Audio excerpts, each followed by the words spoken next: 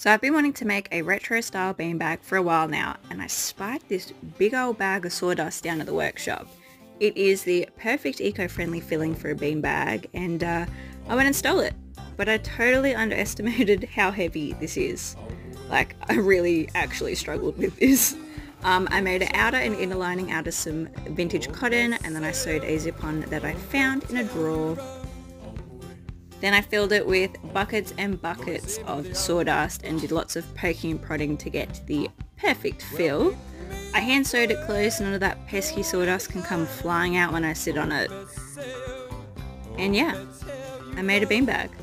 A totally eco-friendly and functional beanbag.